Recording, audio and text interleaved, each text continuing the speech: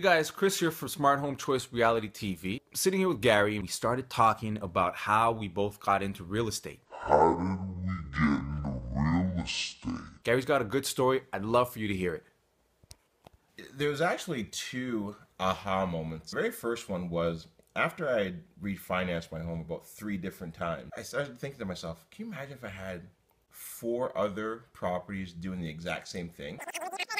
Four other properties doing the exact same thing. So I'd have one home where I can put all my debt in, and then I have three other homes that were going up in value. The second one was I was taking a look at my salary increase each year. Well, I looked at the inflation over the last 20 years. When I calculated, I was only doing about a percent or a percent and a half. If I'm only getting one and a half percent salary increase each year, there's no way I could actually beat inflation. That was why I knew I had to get into real estate investing. Boom, there you have it, guys. See, guys, told you, interesting story. So, Smart Home Choice Reality TV, don't forget to click on the link, and we'll catch you on the next one.